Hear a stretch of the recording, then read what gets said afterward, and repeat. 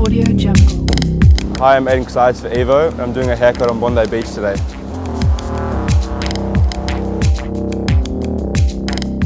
Okay, I'm just doing a, a slick back, kind of blend it in with a little length in the back and top.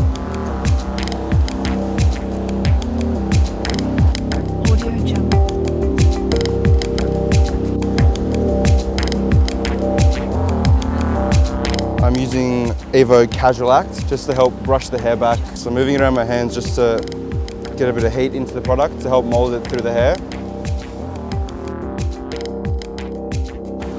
Roots to ends. So when you style the hair, make sure all the product gets through from the roots of the hair up to the ends of the hair, just to keep it secure. So at no point during the day will it decide to do its own thing. I'm combing it through just to get a tighter shape on the side and just to get the product right through to the ends.